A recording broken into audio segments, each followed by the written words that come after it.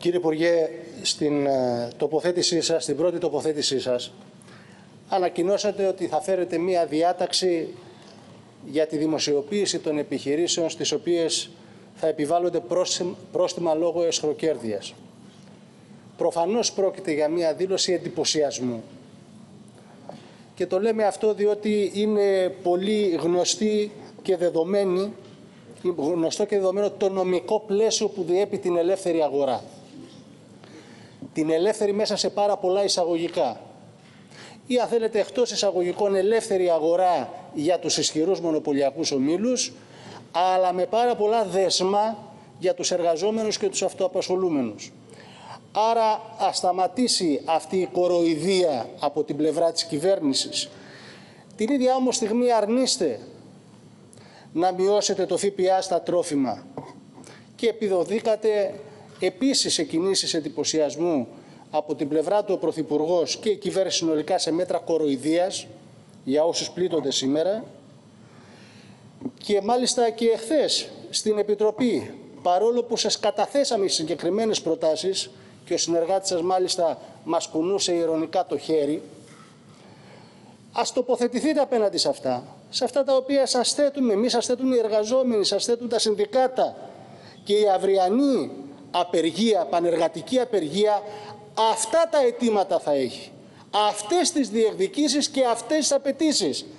Θα τους κουνήσετε το μαντίλι, θα τους κουνήσετε το δάχτυλο, θα τους ηρωνευτείτε. Τι από όλα αυτά θα γίνουν; Διότι τα αιτήματα είναι πολύ συγκεκριμένα.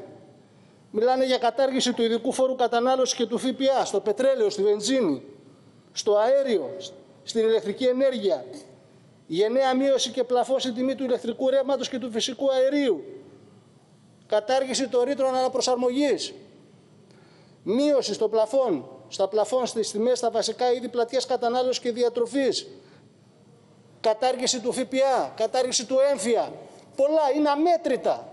Αμέτρητα τα βάρη που έχει η εργατική λαϊκή οικογένεια και τους γυρίζετε την πλάτη στην κυριολεξία. Το ένα είναι αυτό. Η μία μάλλον κοροϊδία είναι αυτή που ακούσαμε σήμερα. Η δεύτερη είναι η τροπολογία. Η τροπολογία υποτίθεται για την ενίσχυση των κτηνοτρόφων. Ψίχουλα, ψίχουλα, ψίχουλα. Από όπου και να το πιάσεις είναι μια δεύτερη κοροϊδία διότι η επίθεση στο αγροτικό εισόδημα, η επίθεση που έχει δεχτεί ο αγρότης, ο κτηνοτρόφος όλα αυτά τα χρόνια τεράστια. Το κόστος παραγωγής έχει φτάσει σε δυσθεώρητα ύψη. Πετρέλαιο, ρήτρα αναπροσαρμογής, αγροτικό ρεύμα, λιπάσματα, ζωοτροφές και η κυβέρνηση δεν έχει πάρει κανένα, μα κανένα απολύτως ουσιαστικό μέτρο πραγματικής στήριξης του αγροτικού εισοδήματος. Κοροϊδεύει όταν μιλάει για αφορολόγητο πετρέλαιο τη στιγμή που με βάση τα όσα λέει ο ίδιος ο Υπουργός μόλις 60 εκατομμύρια που δεν φτάνουν ούτε για να γεμίσουν τα τραχτέρ τους.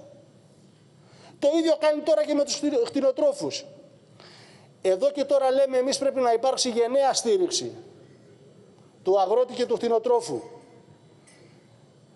Έχετε να δώσετε για τα ραφάλ, έχετε να δώσετε για τις φρεγάτες, έχετε να δώσετε για τους μονοπωλιακούς ομίλους, και λεφτόδεντρα υπάρχουν και κλεφτόδεντρα υπάρχουν, πολλά υπάρχουν.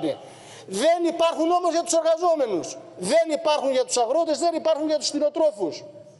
Και δεν είναι θέμα ασφάλειας να κινδυνεύει ο λαός μας, γιατί αυτό είναι το επιχείρημα με τα ραφάλ και τις φρεγάτες.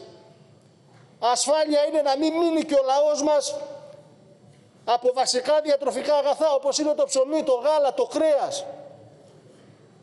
Η στήριξη λοιπόν που προβλέπει στο άρθρο, στην τροπολογία που κατατέθηκε, περνά μέσα από τη μέγενη του δημοσιονομικού χώρου και του κανονισμού κρατικών ενισχύσεων που έχει κόφτες και αποκλεισμούς.